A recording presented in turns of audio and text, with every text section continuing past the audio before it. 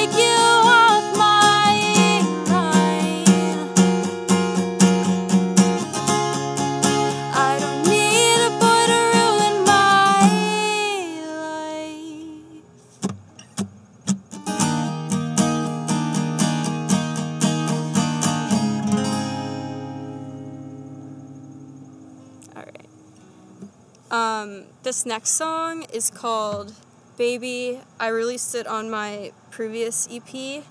Um, it's basically about dating someone who's way younger than you, and you're kind of like his mom. So it's not great. All right.